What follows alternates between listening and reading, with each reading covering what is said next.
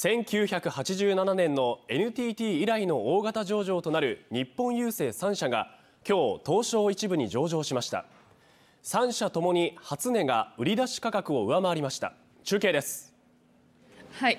今回の上場は証券業界にとって今年最大のイベントで3社揃って初値が売り出し価格を上回り関係者はひとまずほっと胸をなで下ろしているようです。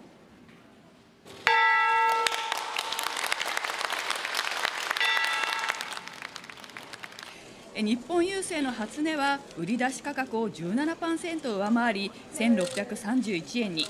またゆうちょも16%増しの1680円でした。売り出し株数が少ないかんぽ生命は初値がつかない状況が続きましたがようやく先ほど2929円と売り出し価格を大幅に上回る初値がつきました。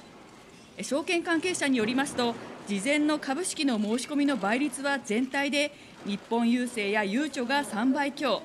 官報は10倍強に上る人気ぶりだったということです。郵政上場に後押しされ今日の日経平均株価も400円近い値上がりとなっていますが久しぶりにマーケットが活気づいている状況です。